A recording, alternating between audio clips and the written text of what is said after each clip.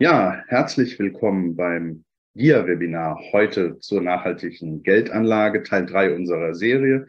Diesmal geht es um Vorsicht Greenwashing, Mythos oder Mogelpackung bei der grünen und nachhaltigen Geldanlage. Und natürlich auch nicht zu vergessen, wir reden auch über ethisch korrekte Geldanlage. Ähm, was das genau ist, wie das funktioniert, erzählen uns heute unsere beiden Experten. Zum einen Martin Niesmann, Geschäftsführer von Venga, dem Verein, der sich um ethische und nachhaltige Geldanlage und deren Förderung bemüht. Und Andreas Enke, unser Referent, der uns ja, beibringt, wie man Greenwashing dann bei der Anlagestrategie erkennt. Mein Name ist Fabian Dittrich. Ich bin einer der beiden Sprecher des Deutschen Instituts für Altersvorsorge und darf Sie heute begrüßen. Wir freuen uns auf Ihre Fragen im Verlauf der Diskussion. Nutzen Sie da bitte für das F&A-Tool von Zoom. Das finden Sie in Ihrer Browserleiste, in Ihrer Steuerleiste von Zoom. Die kann oben oder unten zu finden sein. Dort auf F&A klicken, Frage reinschreiben. Wir binden Sie dann in die Diskussion ein. Wenn Sie technische Probleme haben, können Sie uns auch gerne in den Chat von Zoom schreiben. Dort finden Sie übrigens den Hinweis auf einen besonderen Service zu unserer Seminarreihe, unserer Webinarreihe, nämlich eine Anlegersprechstunde. Die eignet sich für sehr individuelle Fragen zur Anlagestrategie, Ihre persönlichen, ähm, ja, vielleicht auch Probleme, die Sie erfahren haben. Und ja, da finden Sie eine E-Mail-Adresse von Dirk Wittig von Geneon Vermögen, ähm, wo wir eben Andreas Enke hier begrüßen können, der dort Vorstand ist. Und ähm, Dirk Wittig steht Ihnen zur Verfügung für ein individuelles Gespräch. Aber jetzt möchte ich erstmal Martin Nieswand bitten, uns eine kleine Einführung zur Arbeit von Wenger zu geben. Vielen Dank, Herr Dittrich, und äh, auch von meiner Seite schöne Grüße an die Endgeräte da draußen. Ja, kurz äh, ein Entree zu unserem Verein Wenger e.V. Wenger steht äh, als Langversion für Verein zur Förderung ethisch nachhaltiger Geldanlagen.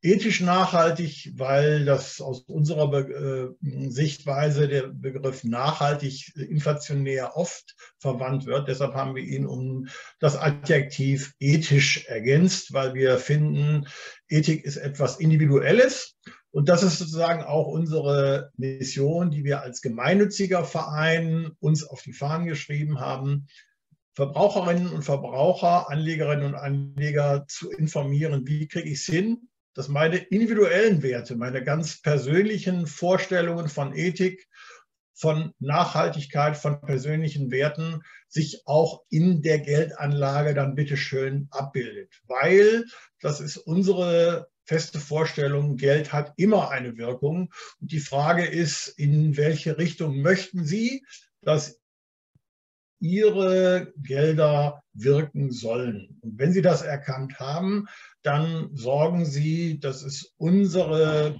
Mission, unsere Bitte, sorgen Sie bitte dafür, dass äh, die Geldströme auch in die Richtung äh, gelenkt werden, wie Sie das für sinnvoll und richtig halten, damit Sie, wenn Sie bei Ihrem Einkauf äh, Dinge in die richtige Richtung bewegen, das Ganze mit Ihrer Geldanlage nicht wieder umstoßen und kaputt machen. Wir haben als gemeinnütziger Verein vor gut fünf Jahren begonnen. Wir haben eine Reihe von Präsenzveranstaltungen in Kooperation mit Bildungsträgern, mit Volkshochschulen, Büchereien, Kirchengemeinden durchgeführt und haben dann, so wie heute, in den letzten drei Jahren sehr viel auch im Netz äh, an Informationsveranstaltungen realisiert Beides hat Vorteile und wir versuchen das einfach so miteinander sinnvoll zu verbinden. Informieren Sie sich gerne auch über unsere weiteren Informationsformate. Es gibt unseren Newsletter, der erscheint einmal im Monat mit einem kleinen inhaltlichen Editorial und mit den Hinweisen auf die Veranstaltung des kommenden Monats. wenger-ev.org heißt unsere Seite. Tragen Sie sich da kostenfrei gerne auch in unseren Newsletter ein. Soweit der Vorrede. Ich darf den Ball weiterspielen aus dem schleswig-holsteinischen Norden von Hamburg in Ham nach Hamburg zurück. An dich, Andreas. Ja, herzlich willkommen auch von mir. Schönen guten Tag. Ich stelle mich kurz vor, dann wird vielleicht auch klar für diejenigen, die die ersten Seminare hier noch nicht mitbekommen haben. Andreas Enke, da steht Gineon hinter, wenn Sie das in den Bildern sehen. Ich bin in einer, in einer, Doppelfunktion hier. Zum einen als Vorstand von Venga zuständig für den fachlichen Teil. Das mache ich, weil ich als Vorstand der Geneon Vermögensmanagement AG Spezialist für nachhaltige Geldanlagen bin und ähm, das seit einigen Jahren mache und diese Erfahrungen, die wir dort bei der Einrichtung und der Umstellung der Vermögensanlage auf ethisch nachhaltige Anlagerichtlinien gemacht haben, das teilen wir hier gerne mit Ihnen, damit gewisse Lernkurven ähm, nicht gemacht werden müssen, um es mal so zu sagen. Das ist die Seminarreihe, die heute ihren Abschluss findet, aber sicherlich nicht endgültig und für immer, sondern vielleicht auch ausgebaut wird. Kleiner Werbeteil, mal schauen. Ähm, wir haben am Anfang darüber gesprochen, wie überhaupt äh, nachhaltige Geldanlage funktioniert, was das ist letzten Endes und wie man damit grundsätzlich von der Struktur her Geld anlegt. Wer das verpasst hat, der kann das auch äh, im Nachhinein bekommen. Das ist aufgezeichnet. Es gibt auch einen YouTube-Kanal dafür. Ähm, dann haben wir über Musterportfolien gesprochen, das Ganze mal konkretisiert. Das ist auch der Grund, warum ich so betone, dass ich als Vorstand von Geneon hier auch spreche. Es ist ja immer ein Thema, wie nah bin ich an der Anlageberatung.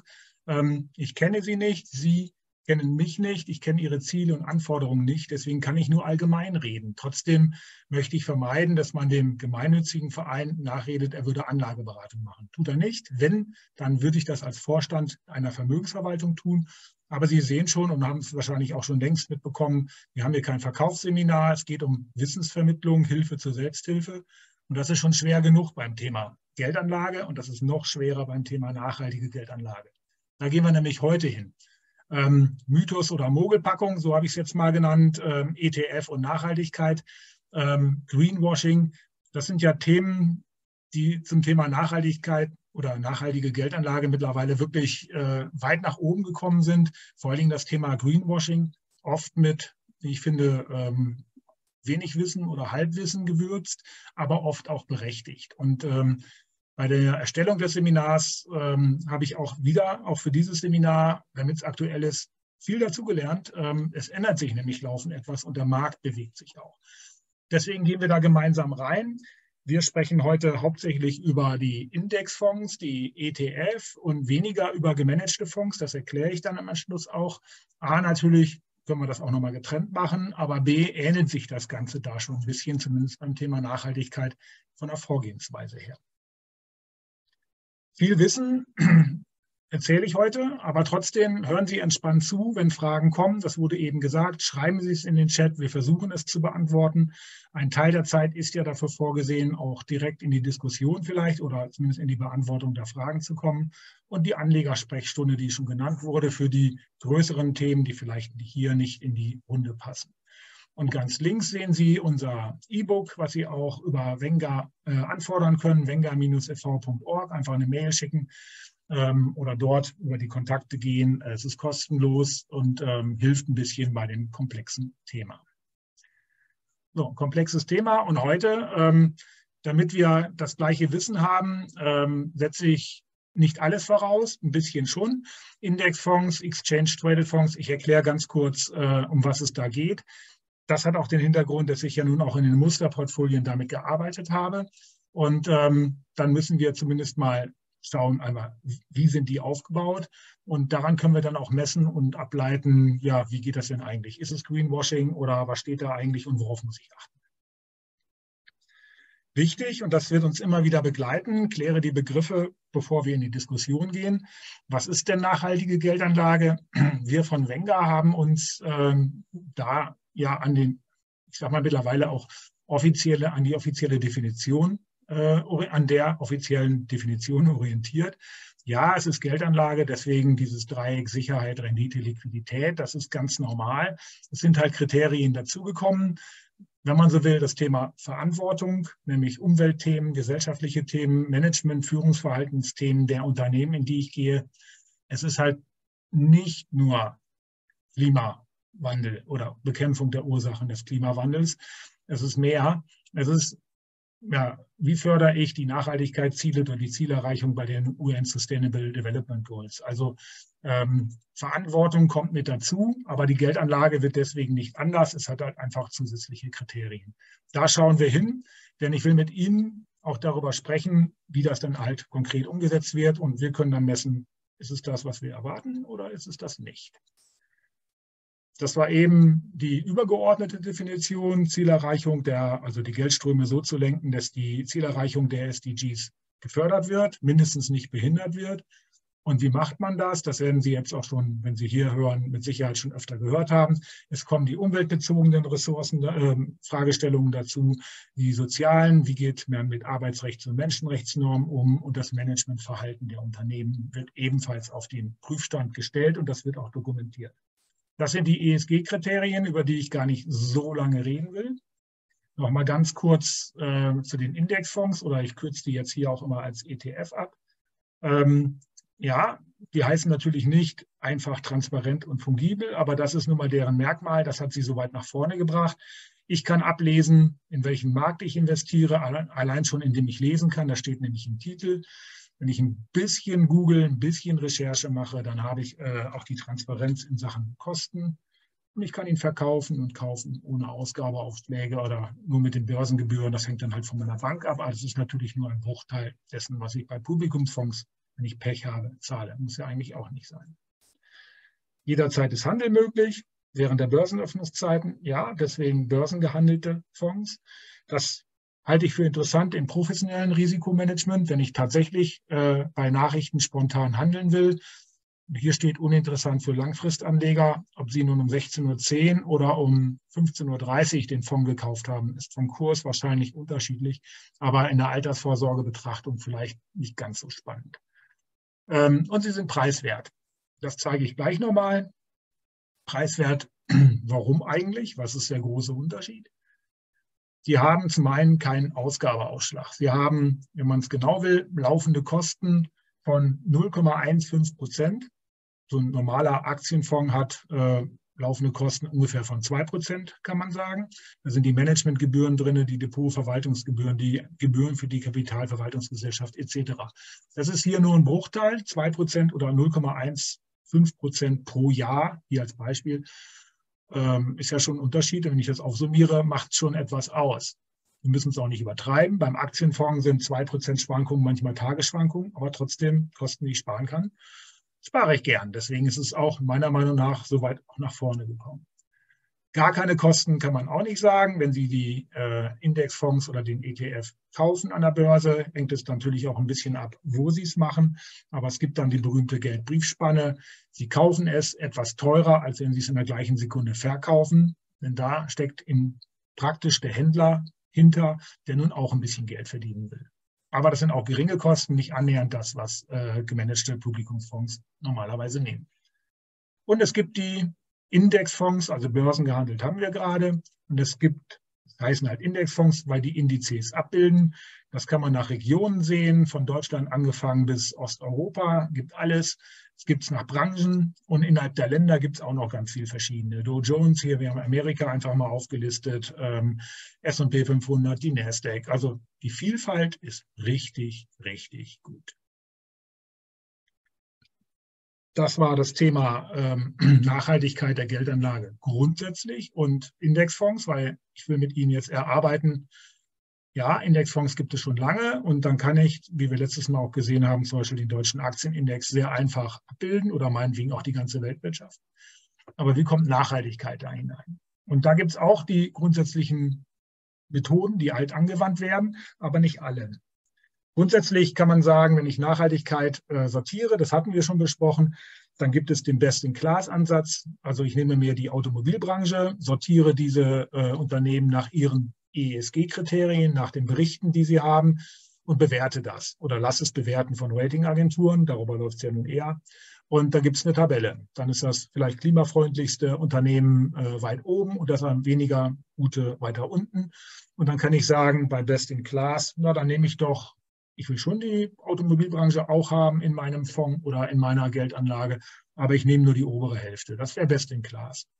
Das kann ich für jede Branche machen. Und wenn ich dann keine Ausschlusskriterien hätte, das ist, das ist nämlich das Zweite, ähm, dann würde ich zum Beispiel auch in die besten, äh, ich sag mal, Rüstungsunternehmen investieren, weil die ja vielleicht einen guten ESG-Report haben und klimaneutral produzieren. Deswegen könnte ich für mich persönlich sagen, es ist ja immer Ihre Entscheidung.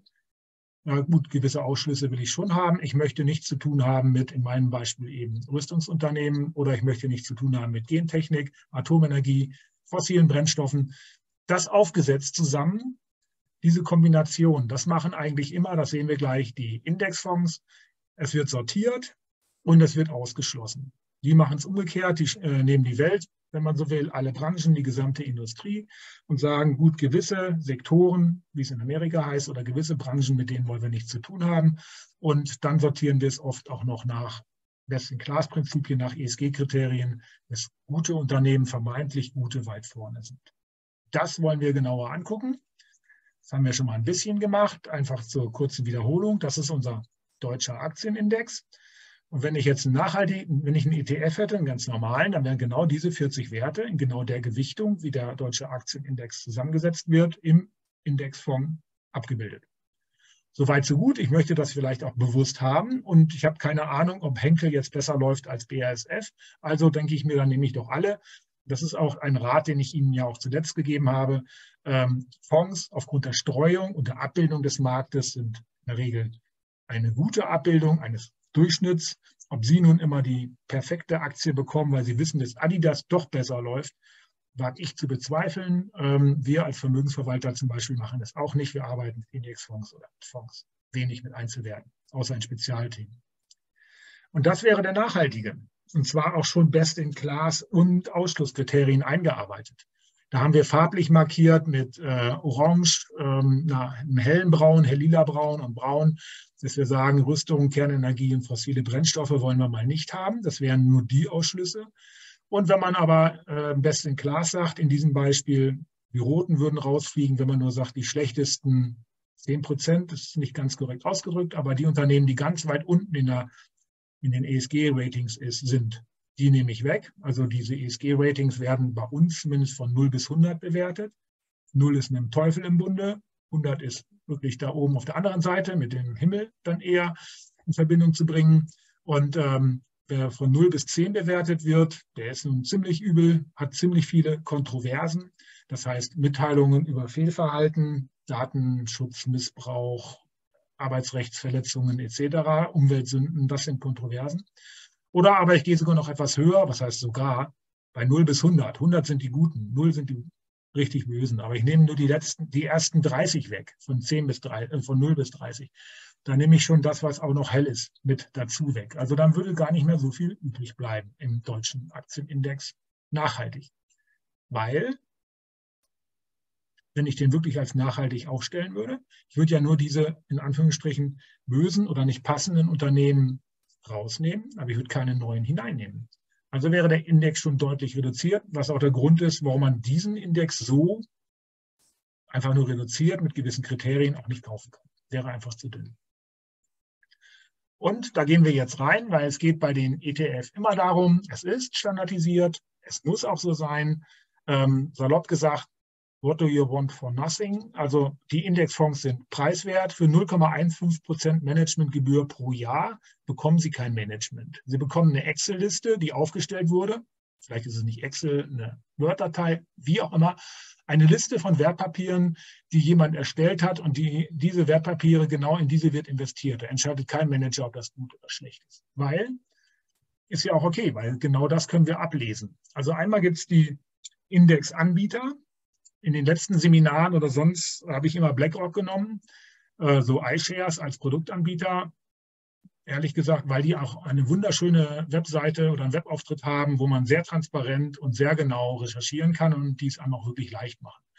Deswegen möchte ich aber nicht immer ähm, BlackRock angreifen, in Anführungsstrichen, ähm, weil sie sind ja eigentlich gut, weil sie so transparent sind. Also dachte ich mir, nehme ich andere große Anbieter mit dazu und so, springe mit ihnen einfach mal in richtig gute Nachhaltigkeitsindexfonds und sage, ähm, wie gucke ich denn drauf und wie könnte ich erkennen, ob das Greenwashing für mich ist. Das muss ja gar nicht für Sie so sein, da hat auch jeder seine eigene Definition. Nennen wir es so, wo gibt es denn vielleicht Überraschungen? Deswegen haben wir uns äh, BlackRock mit iShares angeguckt, BNP Paribas schauen wir uns einmal an und Amundi ähm, als äh, ebenfalls ein Indexanbieter, Quatsch, als Anbieter eines Indexfonds das verwirre ich Sie schon mit falscher Ausdrucksweise. Denn Das zweite Wort, oder wenn es der gleiche ist, immer noch das erste, das ist der Indexbauer, der Anbieter. Also iShares oben möchte einen ETF haben, beispielsweise bleiben wir bei unserem deutschen Aktienindex. Und dann fragen die bei MSCI nach, das ist der führende Anbieter schlechthin. Ich hätte gern ein, eine Liste der Wertpapiere, die genau den deutschen Aktienindex abbilden. Dann würde der halt heißen iShares, MSCI als Produktbieter und dann DAX dann wahrscheinlich Screened, weil wir ja irgendwas aussortiert haben und USITS, Publikumsfonds und dann ETF. Das gibt es natürlich auch von BNP Paribas oder Amundi, die arbeiten auch offensichtlich mit MSCI zusammen. Und dann können wir im dritten Teil sehen, in was wir eigentlich investieren. In diesem Fall ist, das, ist der Index, der gewünscht wurde zu bauen, komische Ausdrucksweise, also der gebaut werden sollte, ein amerikanischer Index, der in, in den USA investiert, der soll nach ESG-Kriterien sortiert worden sein. So, und diese Liste sollte erstellt werden und dann äh, natürlich mit den ESG-Kriterien nachhaltig sein. BNP hat gesagt, ja, ich möchte auch einen amerikanischen Index in diesem Fall haben, aber die sollen mit geringen Volatilitäten, also Schwankungsbreiten ausgestattet sein. Das sind die Kunden, die Kunden möchte ich bedienen. Und Amundi sagt, ja, super, aber ich möchte was gegen den Klimawandel tun. Ich möchte, dass meine Geldströme, die in diesen ETF gehen, so gelenkt werden, dass, die, dass der Klimawandel da ähm, aktiv bekämpft wird von den Ursachen her. Okay, das äh, gucken wir uns dann einfach mal an. Ich habe hier auch immer die Quellen benannt. Das ist einfach nur Internetrecherche. Ich schaue nach. Äh, wenn ich jetzt Investor wäre, das bin ich ja auch manchmal, auf der, ich einen anderen Hut aufhabe, ähm, möchte ich denn mit diesem Fonds arbeiten? Erfüllt er meine Kriterien? dieser MSCI USA ESG Screen Index, der von iShares. Da kann man dann auch auf der Webseite schauen und das ist gar nicht schlecht, wenn man das so liest. Also der Index umfasst keine Unternehmen, also schließt Unternehmen aus, die mit umstrittenen Waffen äh, arbeiten, Atomwaffen, Tabak finde ich jetzt nicht so spannend, thermische Kohle wird ausgeschlossen, Ölsande, also Fracking, zivile Schusswaffen. Wer damit arbeitet, wird da offensichtlich ausgeschlossen und das sind dann die weicheren Kriterien, Prinzipien des UN Global Compacts wird auch ausgeschlossen. Das sind die, salopp gesagt, es gibt zehn Prinzipien und äh, Arbeitsrechts- und Menschenrechtsnormen ist nicht ganz korrekt, aber kann man es ganz gut zusammenfassen. Also wer jetzt ein normales Geschäftsgebaren macht, der erfüllt eigentlich schon die Prinzipien des Global Compacts, also muss auch mal gesagt werden. Und dann kann man auf der Webseite schauen, ja, super, also eine Waffen 0% Gewichtung und da haben sie ja überall null. Und äh, sogar, das ist auch nicht unwichtig, äh, 99,87 Prozent des Fonds werden mit Wertpapieren bedeckt oder, oder gefüllt, die genau danach aussortiert wurden. Klasse. Dann gucken wir doch mal rein. Nee, da gibt es noch eine Änderung. Und die ist ja eigentlich sogar gut, ich finde. Aber da zeige ich Ihnen jetzt auch mal, worauf man alles achten muss. Dieser Indexanbieter sagt ab 1.3. Wahrscheinlich aufgrund der massiven Kritik in den letzten Seminaren von unserem Verein oder vielleicht auch aus anderen Gründen. Aber wir schließen jetzt noch mehr aus. Also wir sagen, na, Prinzipien von Global Compact verletzt, das wollen wir mal länger besser definieren. Wir sagen nach dem Controversy-Score, ui, die haben ja doch bei uns zugehört, also diese Kontroversen um Rechts, um Umweltvergehen etc., die werden jetzt auch bewertet und wer in unserer Skala die Note 1 bekommt, der wird ausgeschlossen also schon wieder, ich weiß nicht, wie weit Sie immer tiefen einsteigen wollen, wenn Sie nachhaltig Geld anlegen wollen. Also jetzt müssen Sie sich mit dem MSCI Controversy Score ähm, ja, irgendwie auseinandersetzen und lernen, was bedeutet das denn? Bei be bestimmten Kriterien, also Biodiversität, oh super, wird ähm, äh, berücksichtigt und äh, Umwelt auch irgendwie. Mhm. Gut, Palmöl kommt raus mit 5% Umsatzgrenze, das finde ich, find ich persönlich okay. Ähm, denn in Sachen bei Lieferkettenproblematiken da alles auszuschließen, bis auf Null runter, könnte vielleicht auch gerade in Amerika haftungstechnisch spannend sein. Äh, arktisches Öl und Gas wird auch ausgeschlossen. Warum wird denn das dazu genannt? Es war doch schon, ja, thermische Kohle. Da müssen wir wieder genau lesen. Thermische Kohle heißt ja nicht fossile Brennstoffe. Aber gut, jetzt also thermische Kohle und äh, arktisches Öl und Gas. Okay, und dann ähm, will man auch noch äh, die Kohlenstoffintensität um 30 Prozent gegenüber dem Standardindex reduzieren. Ja, dann hört sich doch gut an. Also, Wir gucken uns nochmal den Controversy Score an, weil da wird ja alles ausgeschlossen von den ESG-Kriterien. Klingt jetzt zumindest so, salopp gesagt, die Drecksäcke kommen raus. Kannst du jetzt gerade nicht anders ausdrücken. Mhm. Dann habe ich ein bisschen gegoogelt. Ich meine, das ist auch leicht. Man kann da den Links einfach folgen. Und dann kommen wir auf die Methodik von MSCI, wie die mit Kontroversen umgeht. Und die haben das sehr gut. E links, ne, Environment, Social und Governance, die drei Spalten. Das haben ja unglaublich viele Teile aufgebaut. Und das wird alles bewertet. Das ist ja, äh, ja, also wer, wer redet denn gegen, gegen nachhaltige Geldanlagen? Die gucken doch auf alles. Fast alles. Also die gucken genau auf zwei Kriterien. Die sind jetzt erstmal wichtig. Wer da böse ist, salopp gesagt, fällt raus. Gut, besser als nichts. Ne? Wir wollen ja zufrieden sein. Jetzt müssen wir dann noch mal schauen. Wir wollen ja zufrieden sein. Alles fällt raus, was die Stufe 1 hat. Die haben halt eine Stufe von 1 bis 9. Und wenn wir dann schauen, schwere Vergehen, die direkt dem Unternehmen zuzuordnen sind, das wäre, und die auch noch laufen, also nicht behoben wurden, die haben die Stufe 0 schwere Vergehen, die dem Unternehmen direkt zuzuordnen sind, die schon zum Teil angegangen sind und zum Teil gelöst wurden. Das ist Stufe 1. Wenn sie gelöst wurden, also es war mal ein böses Vergehen und es ist gelöst, das ist Stufe 2, die dürften drin sein. Aber schwere Vergehen, die nur zum Teil, also indirekt dem Unternehmen zuzuordnen sind und noch nicht ganz gelöst sind, die haben schon Stufe 2. Dort kann ähm, das Unternehmen trotzdem drin bleiben. Oder schwere Vergehen oder äh, ganz schwere und jetzt nur die schweren Vergehen, die auch nur zum Teil gelöst wurden, ist auch Stufe 2, können auch rein. Also dass die jetzt ähm, richtig viel aussortieren und nur die besten 10 Prozent oder so ähnlich, würde ich jetzt nicht so unterschreiben. Also einmal nur zwei Bereiche, Social und Führungsverhalten geht ganz weg. Und dann wird auch nur ein kleiner Teil, also wirklich ein ganz kleiner Teil aussortiert.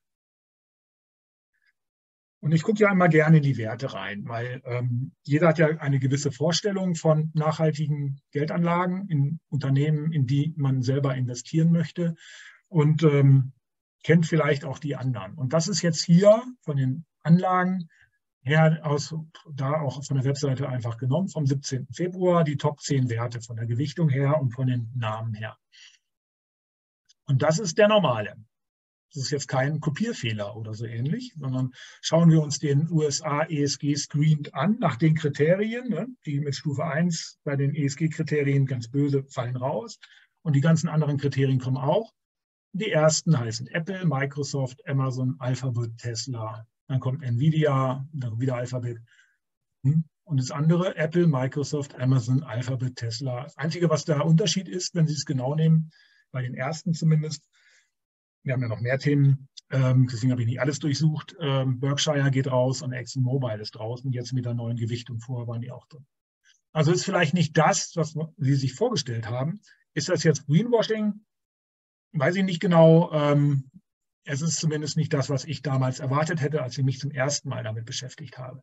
Aber es erfüllt bestimmt und mit Sicherheit die Kriterien, die vorher genannt wurden. Ähm, wir werden hier keine Hersteller von verbotenen Waffen finden. Das wäre jetzt Lockheed Martin beispielsweise. Interessanterweise, wenn es Europa wäre, auch Airbus. Ähm, weiß ich auch nur, weil ich ein bisschen über den norwegischen Staatsfonds recherchiert habe und die haben die genau wegen diesem Vergehen in Anführungsstrichen, also Produktion geächteter Waffen ausgeschlossen. Also ich zitiere nur andere.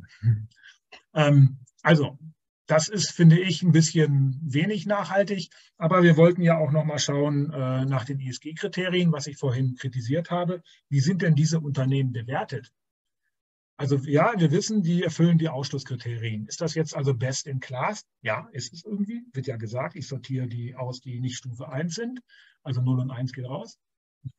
Ähm, wie sind die denn bewertet? Und dann habe ich jetzt mal reingenommen, von den Daten her, die ich nur als Vermögensverwalter habe. Das ist Refinitiv. Ähm, die skalieren das von A plus bis D minus. A plus sind die richtig guten, also Wert 100 bis, 100 bis 91 und so. Und D minus fängt bei 0 an und geht dann hoch bis, ähm, ich glaube, Lügen 10 oder so. Und ähm, dann hab ich, haben wir uns die Unternehmen mal angeschaut. Ja, dann sind das ja vielleicht doch wenigstens da die guten. Allein Apple, ich meine, das haben die meisten von Ihnen schon geahnt. Die haben tolle ESG-Werte, sonst wären sie da auch nicht oben. Die sind ja in vielen Nachhaltigkeitsfonds auch drin. Aber in den Kontroversen, in den, äh, ich sag mal, Machtmissbrauchs könnte ich mir spontan vorstellen, oder Steuer, äh, innovative Steuergestaltung etc. Da sind sie ganz weit unten. 100 Punkte sind möglich und 100 Punkte sind gut. Null ist richtig schlecht.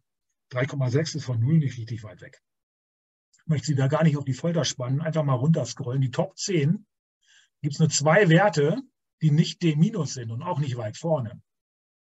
Also ESG-Screen ja. Wenn man den S&P 500, den normalen nimmt und das genauso bewertet, hätte man eine Durchschnittszahl wenigstens von 48.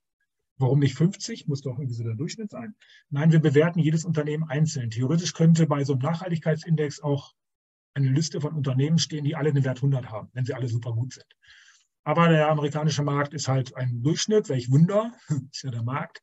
Ähm, und der hat auch in der Mitte ungefähr ist der einigermaßen angesiedelt. Aber das, was hier ganz vorne ist, in dem Nachhaltigkeitsindex, ist ganz weit unten in Sachen Kontroversen. Wir sind ja bei Wenger nicht nur auf nachhaltig, sondern auf ethisch nachhaltig orientiert. Finden wir halt nicht so gut, so will ich es mal sagen. Das muss auch nochmal, ist auch gleich Thema. Ich könnte ja auch äh, in die Rechtsprechung, hätte ich fast gesagt, gehen, in die Klassifizierung. Die, wir haben ja festgelegt, welche Fonds nachhaltig sind. Und das sind die Artikel 6 nicht, sondern 8 und 9 Fonds nach der EU-Offenlegungsverordnung. Und das ist einer davon. Also er ist, wenn Sie schnell gucken, ein Artikel 8 Fonds, SFDR, EU-Offenlegungsverordnung und könnte man als nachhaltig bezeichnen, wenn man damit zufrieden ist. Amtlich ist das.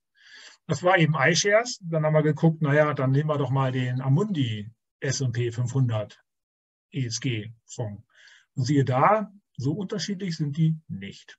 Was Sie hier dazu finden, ist eigentlich nur, dass Tesla wegfällt, aber ExxonMobil dafür drin ist. Die haben offensichtlich das mit den fossilen Brennstoffen nicht so genau genommen. Also Fazit, ähm, ich habe jetzt nur den amerikanischen Markt angeschaut, aber das ist ja für jeden vom Prinzip her das Gleiche. Die äh, Auswahlverfahren sind dieselben. Also nur ESG scheint ein bisschen dünne zu sein. Jetzt habe ich hier nochmal ein, eine kleine Besonderheit. Schauen Sie nur auf die Überschrift. Das andere müssen wir uns gar nicht so genau anschauen. Warum sage ich gleich? Hier haben wir BNP Paribas angeschaut als Anbieter, auch einen amerikanischen Fonds, der halt die Geschichte hat mit wenig Volatilität und er hat auch ESG-Kriterien. Und wenn ich dann reinschaue auf deren Webseite, äh, die wichtigsten Positionen, ja, das haben wir jetzt schon gekannt, Microsoft, Apple, Amazon, auch spannende Nachhaltigkeitsthemen. Aber dann wird es schon anders. Also insofern Voloa, Low Vola, okay. Ähm, sieht zumindest anders aus, könnte man dann tiefer recherchieren. Habe ich dann nicht gemacht. Ich bin nur drauf gegangen, nicht nur, was die Benchmark abbildet, was die dann ja eigentlich abbilden wollen, oder in was die investieren sollen, dann haben Sie netterweise auch die Liste, in welche Produkte der Fonds wirklich geht. Und jetzt schauen Sie da mal. Wir wollten doch amerikanische ESG-Werte mit niedriger Volatilität haben. Fresenius, Münchner Rückversicherung, Volkswagen, Allianz, SAP, Deutsche Lufthansa. Auch nicht schlecht. Also die Kriterien sind ähnlich, die sollen die guten sein und die sollen auch ähm, in Sachen Nachhaltigkeit weit vorne sein, aber die Produkte sind nicht das, was draufsteht. Auch kein Greenwashing, zumindest nicht amtlich. Also ich finde schon, ähm, da hier liegt es daran, das hatten wir auch früher immer schon wieder gesagt, achten Sie auf die Replikationsmethode. Das wird ja ausgewiesen, das muss ausgewiesen werden. Oder bei manchen Direktbanken, wenn es billig ist, steht dann da unbekannt. Aber auch dann sofort höchste Alarmstufe. Physisch ist richtig. Das müssen, muss es sein. Synthetisch heißt, oder Swap-basiert, wie auch immer schönere Worte, die man nehmen kann. Ähm, ja, ich gebe Ihnen, liebe Kunden und liebe Kundinnen, äh, die Wertentwicklung dieses Pakets der Benchmark. Das wird auch tatsächlich im Depot so abgebildet als eine äh, ja, als BNP Paribas ESG Low Vola ETF mit der Wertentwicklung. Die kommt aus dieser Liste dieser fiktiven Werte. Effektiv fließt das Geld in die Liste der Unternehmen, der, in die er wirklich investiert. Und die Bank trägt halt das Risiko äh, oder der ja, vom Betreiber letzten Endes ist die Wertentwicklung des Pakets, in das sie fiktiv investieren, besser als das es wirklich investiert. Dann muss die Differenz halt überwiesen werden und umgekehrt ist ein theoretisches Risiko. Ähm, darum geht es aber nicht. Ich will noch mal über die Thematik der nachhaltigen Geldanlage reden. Wir wollen die Kapitalströme umlenken. Wir wollen eine Welle erreichen des Unternehmen, die gewisse Kriterien erfüllen, auch bewusst bevorzugt werden. Nur dann hat es an einer Börse überhaupt Sinn. Wenn die Nachfrage größer wird als das, äh, als das Angebot, dann steigen die Preise. Das soll erreicht werden. Aber das tue ich doch nicht, indem ich eine Excel-Liste abbilde, sondern und dann wieder in ganz andere Werte gehe. Das ist schade. Das würde ich äh, den BNP Paribas-Leuten gerne erzählen. Die wissen es aber wahrscheinlich sowieso. Warum man das macht, ist mir ein Rätsel, denn in Amerika sind die Werte nun nicht so weit weg. Wenn es dann das hatten wir auch schon mal gezeigt, Emerging Markets sind und dann exotisch und dann nachhaltig, da verstehe ich das ein bisschen. Dann kriegt man das vielleicht gar nicht anders hin, aber doch nicht im amerikanischen Markt. Das ist ein bisschen schlapp. Und so leicht kommen Sie da auch nicht drauf. Hier habe ich mal Finanztreff aufgerufen und äh, geschaut, ja, gehen wir den Fonds doch mal ein und da stehen die Top Holdings drin, die Sie auch so finden. Und wenn Sie jetzt normal lesen, sehen Sie ja nur Asset Allocation, Top Holdings. Hm, man muss so genau lesen. Da gibt es natürlich in der Anlageidee einen Zaubersatz. Es ist angelegt vom Index oder in einem Substitute Basket. Wir haben halt gerade den Substitute Basket gesehen. Und auch das ist EU-Offenlegungsverordnung, Artikel 8. Also ich weiß aus eigener Erfahrung, wie doll es ist, in Deutschland einen Artikel 8-Fonds aufzulegen. Ähm, das ist kein kein Kinder äh, oder Honigschlecken. Aber sowas hätte ich jetzt noch nicht erwartet. Die investieren darin gar nicht, aber schaffen nachhaltige Werte. Hm, bitter. Dann dachte ich mir, na gut, aber den beiden muss es nicht sein. Dann gehen wir jetzt mal in die Namen richtig rein. Klimawandel, da muss was doch, äh, das muss ja wenigstens gut sein. Also vom Namen her fand ich den am besten. World Climate Transition ETF, das finde ich gut. Und es geht um die CO2 ärmere Wirtschaft und, äh, und das Engagement in Unternehmen soll verringert werden, die mit diesen Risiken äh, verstärkt ausgesetzt sind. Ja, hört sich doch gut an. Weltweit wollen wir ja sowieso immer. Ja, und dann gehen wir in die Werte rein. Microsoft, Apple, Tesla, Nvidia, Amazon. Also irgendwie ist es schon spannend, dass die äh, großen Technologieunternehmen in Amerika überall drin sind. Ja, ich denke, dass wenn man nach den reinen ESG-Reports geht, die ja nun auch große Unternehmen sehr leicht erstellen können. Kleine haben da Schwierigkeiten, aber große haben ja die Abteilungen dafür. Die können das auch machen. Und dann kommt dazu, dass die klassischen Indexanbieter ungern stark abweichende Wertentwicklung vom Markt haben. Sie versuchen immer genauso gleich zu sein oder wie man das so schön sagt, den Tracking Error zu minimieren. Also sie wollen dann auch den US-Markt oder den MSCI World abbilden. Und dann gehen sie oder versuchen sie dann immer auch so stark diese großen Unternehmen wie in den klassischen Indexfonds zu gewichten. Mich, ich finde es nicht richtig. Ähm, es ist dann auch nicht das, was ich erwartet hätte. Hier auch nochmal darauf hinaus, dass nachher, oder ich sage es nochmal betont, ich will ja die nachhaltige Geldanlage gar nicht verteufeln. Aber manchmal macht man sich jetzt als Anbieter doch ein bisschen einfach. Hier habe ich es nochmal daneben gelegt, der normale S&P 500. Apple, Microsoft, das haben wir eben schon gehabt. Es ist nicht, natürlich nicht dasselbe, aber es ist im Großen Ganzen dasselbe und vielleicht nicht das, was ich, wenn ich nachhaltig Geld anlegen will, eigentlich erreichen will. Die meisten Gelder gehen doch sowieso in Apple, Microsoft, Amazon, Alphabet, weil das in allen normalen Indizes auch die stärksten Werte sind. Also hier habe ich eine Lenkung, die ich vielleicht gar nicht will. So, Pause. Nein, nur kurz, wir haben ja wenig Zeit und ich muss so viel erzählen. Ähm, also wenn da ESG-Screen steht, da müssen wir schon genau hinschauen. Ich habe Ihnen drei Beispiele gezeigt. Bei ESG finde ich keine guten, so pauschal gesagt. Ich zeige natürlich auch gleich gute Lösungen. Artikel 8 EU-Offenlegungsverordnung, das heißt erstmal nichts. So, leider muss ich das so sagen. Es war in den ersten Seminaren für mich immer die erste schnelle Hilfe für Sie. Sechs wirbt damit nicht, hat vielleicht und wahrscheinlich damit auch nichts zu tun mit dem Thema Nachhaltigkeit. Acht und neun, wenigstens das wäre schon mal eine Hilfe. Ich muss trotzdem schauen. Und schöne Namen, welch Wunder. Das war vielleicht das Erste, worauf man auch kommt. Die heißen immer noch wenig ähm, und bis gar nichts. Man muss wirklich reinschauen.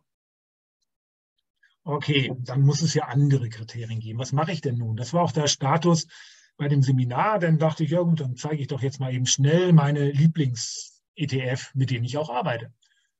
Dann gehe ich bei Amundi rein und die haben 171 Nachhaltigkeits-ETF, die sie jetzt nach folgenden Kriterien auflisten. Sehen Sie, Broad ESG, Klima, Exclusive ESG, Strict ESG, ESG-Thematik.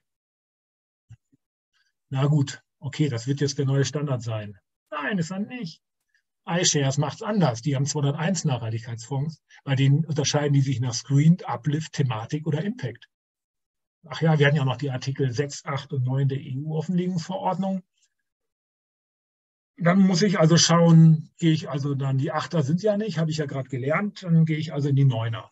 Das wird ja auch im Volksmund oder im Volksmund vielleicht noch nicht äh, immer wieder so gut dargestellt. Ähm, acht ist ein bisschen nachhaltig, neun stärker. Mhm. Ja, dann sortiere ich doch danach. Dann habe ich jetzt BNP mal rausgenommen, Strafe muss sein und Zeitmangel auch. Ähm, da einfach wegen den synthetischen Themen. Da wollte ich jetzt nicht noch gucken, wer ist denn wirklich replizierend oder physisch. Äh, Amundi hat 171 Nachhaltigkeits-ETF, hatten wir schon. Einer ist Artikel 9. Und bei iShares sind es 15.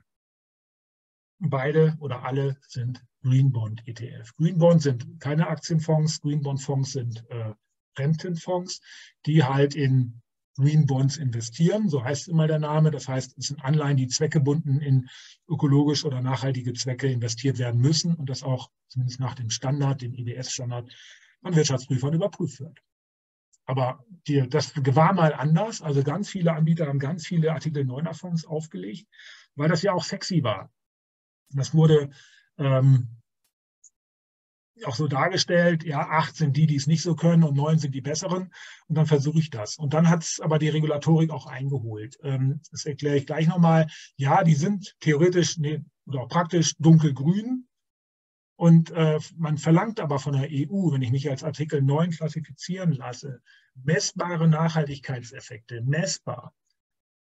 Wir haben selber einen Artikel 8 Fonds. Der hat ein Unternehmen, das investiert oder ein Teil der Gewinne gehen in Wasserprojekte in Südamerika, wo dort Mangel herrscht und wo die Bevölkerung in die Lage versetzt wird, Trinkwasser zu bekommen. Wie soll ich denn das messen? Nach welcher Einheit denn?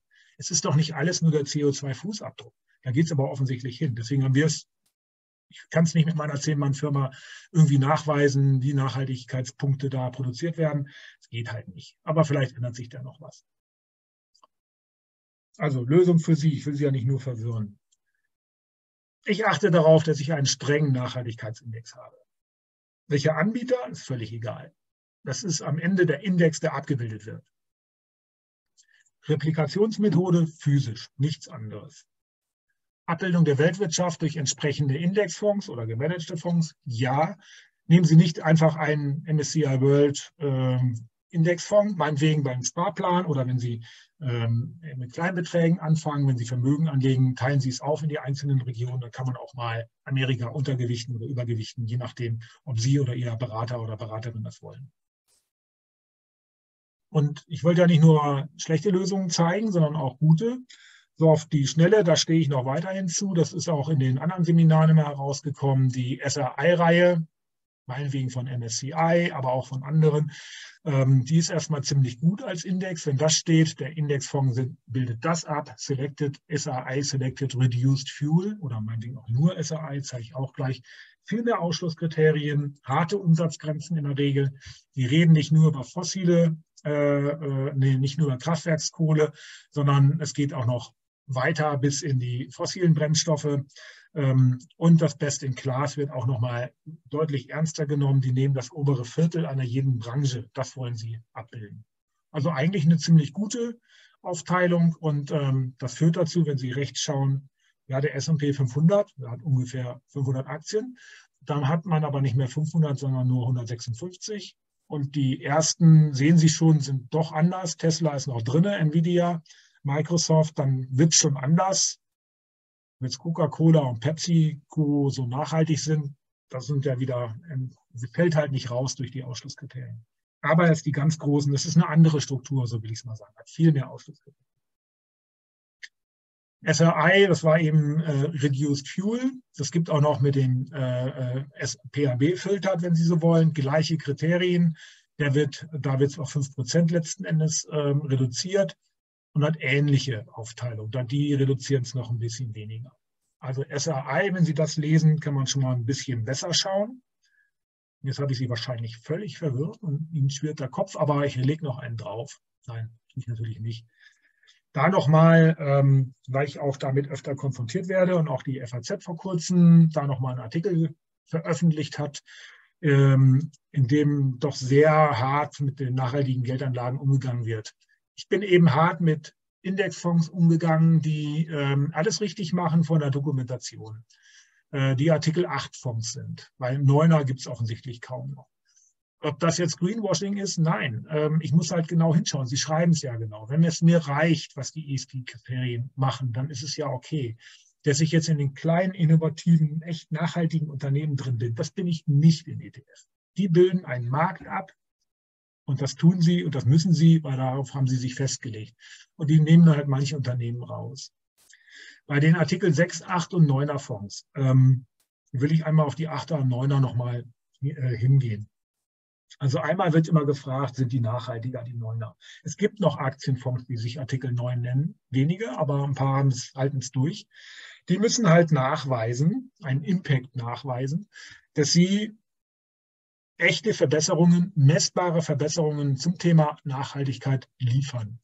Ähm, das ist recht ehrgeizig, so will ich es mal sagen. Konzentriere ich mhm. mich mit meinem Fonds auf Klimawandelthemen, also CO2-Themen oder Reduzierung der, äh, des CO2-Fußabdruckes, das kann ich messen.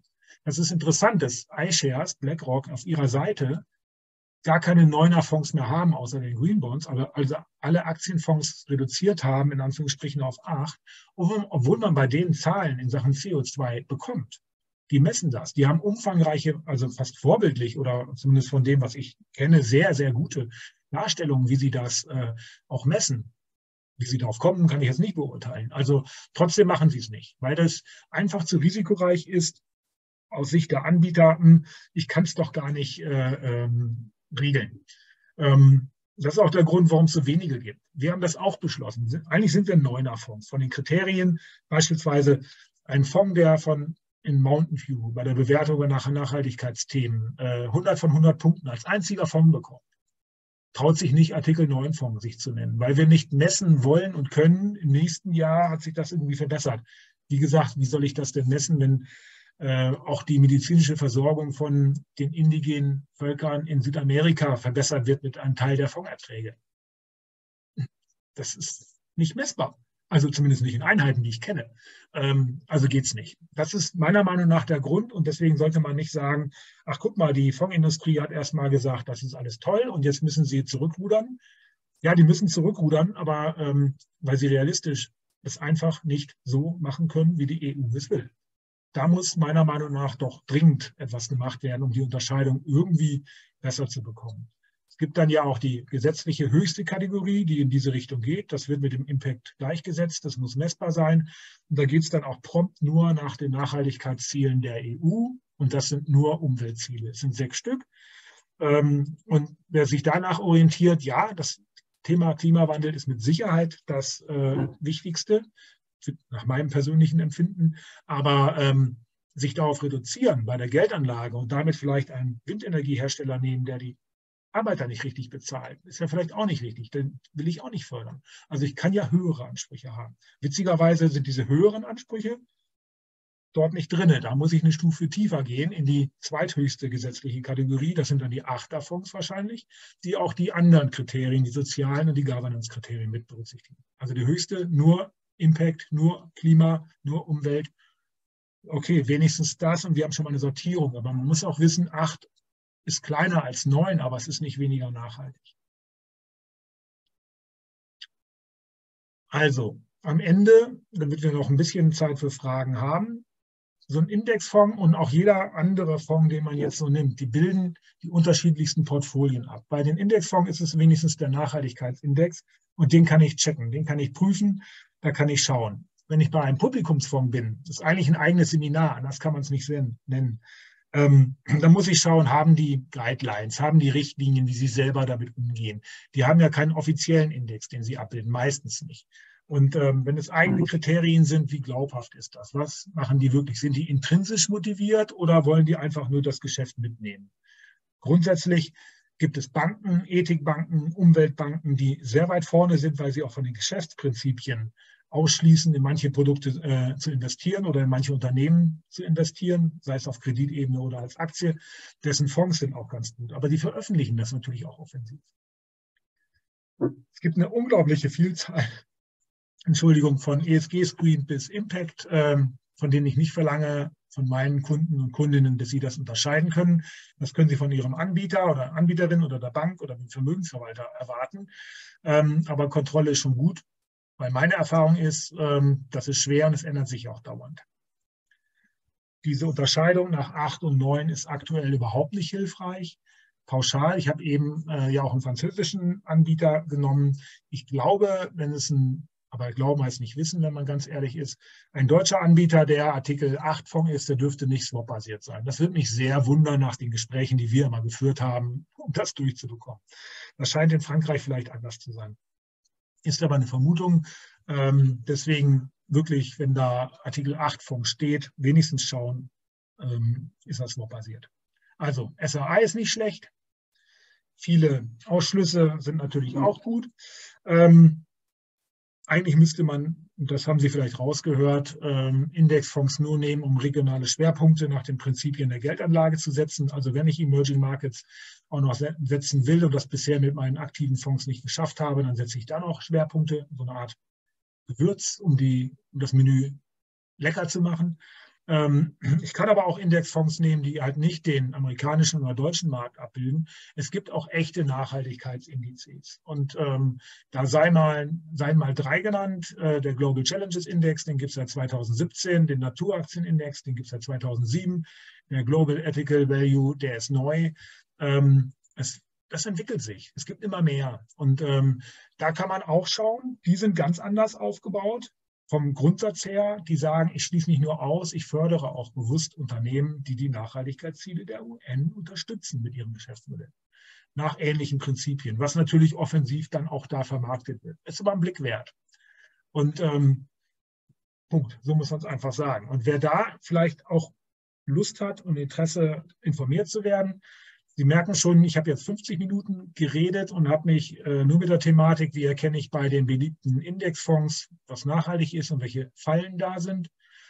Ähm, bei Publikumsfonds ist es eigentlich noch filigraner, weil natürlich bei den, ich weiß ja nicht wie viel, 10.000 Aktienfonds und, oder generell Publikumsfonds ähm, 3.000 Manager sind, die 5.000 Ideen haben. Und ähm, da gibt es auch noch keine Einsortierung. Das ist einfach noch nicht durch deklariert, wenn man das so will. Es ist noch im, am Werden. Das ist auch das, was ich vom Sustainable, Sustainable Beirat der Bundesregierung über Ecken gehört habe. Man ist dabei. Die ersten Schritte sind gemacht mit der Artikel 6, 8 und 9 Thematik. Ich hoffe, da kommt noch mehr, dass andere Kriterien mit hereinkommen und andere vielleicht wieder herauskommen, denn erklärt mir, wie ich messen soll, wie meine Nachhaltigkeit wirkt und ich versuche es dann ja auch gerne. Aber ähm, es einfach nur zu verlangen. Bei Sachen ist dann doch seltsam. So, dann hoffe ich, sind ein paar Fragen aufgekommen und ich hoffe, dass noch viel mehr Fragen beantwortet wurden und stehe gern zur Verfügung. Ja, erstmal sehr vielen Dank, Herr Enke. Und die Bitte an alle Zuschauer, nutzen Sie die Gelegenheit, stellen Sie jetzt noch Fragen über das F&A-Tool zu unserer Webinarreihe insgesamt und zum Vortrag heute. Weitere Informationen übrigens und ein Replay auf dieser Webinarreihe finden Sie im DIA YouTube-Kanal. Auch die heutige Folge wird in Kürze dann dort hochgeladen. Die beiden anderen Folgen sind dort bereits zu finden. Einen beispielhaften Link habe ich Ihnen in den Chat gestellt. Und natürlich können Sie auch unseren Podcast Rente gut, alles gut äh, abonnieren. Auch dort gibt es Folgen, die sich mit dem Thema nachhaltige Tische Geldanlage beschäftigen. Aber jetzt an Martin Nieswand und die Fragen. Genau. Die erste Frage ist gerade eingetrudelt und sie lautet, äh, welche Rahmenbedingungen ähm, sollten sich ändern, um äh, seitens des Gesetzgebers auch den Markt für nachhaltige Geldanlagen besser zu gestalten? Ja, ich finde die Idee, wenn man schon mich fragt, ähm, gut, dass man das ähnlich wie äh, diese Nutri-Scores oder bei den Kühlschränken mal irgendwie schafft. Ähm, es muss erstmal vereinfacht werden. Ich muss als Verbraucher und Verbraucherin sehen, in welche Richtung geht das. Von dunkelgrün bis hellrot. Das wäre schön. Also es ist vielleicht mit 6, 8 und 9 komisch gemacht. Vielleicht gibt es da eine Tabelle. Ähm, es muss dann aber realistisch sein. Also nicht, bitte nicht nur die Umweltziele der EU berücksichtigen, sondern ähm, die Kontroversen. Was ist das für ein Unternehmen? Wie geht es mit den Mitarbeitern und mit der, mit der Rechtssache, mit, der, mit unserer Umwelt generell um? Äh, wie hält es sich an Gesetze etc.? Das muss bewertet werden. Ähm, und das geht ja. Das ist ja kein Hexenwerk. Warum redet über Kontroversen? Fast niemand, aber über die ESG-Reports, die große Unternehmen viel besser machen können ähm, als kleine Unternehmen, so alle. Also diese Problematik, die jetzt gemacht wird, ich sortiere nach den ESG-Reports, heißt ja, dass ich große Unternehmen bevorteile. Nehmen wir mal an, ich hätte eine Aktie mit meinem Unternehmen oder kleine Unternehmen. Die haben halt ähm, mittelständische Unternehmen ihre engen Abteilungen, jeder hat ordentlich zu tun. Das haben die beim großen Unternehmen auch. Aber die haben Abteilungen, die sich um den ESG-Report stürzt und den perfekt machen und andere machen das nicht. Dementsprechend sind kleinere automatisch weit hinten. Der Fehler müsste irgendwie beseitigt werden. Also geht nicht nur auf diese Reports. Ähm, nimmt sie zur Kenntnis, aber bewertet auch das andere. Ähm, das ist schwer, das weiß ich. Aber die Ethik, und wenn wir schon über ESG reden, kann auch nicht sein, dass wir nur bei E am Ende das ganze die Wertungsschema laufen lassen. S und G muss dazukommen. Das wäre mein Herzenswunsch.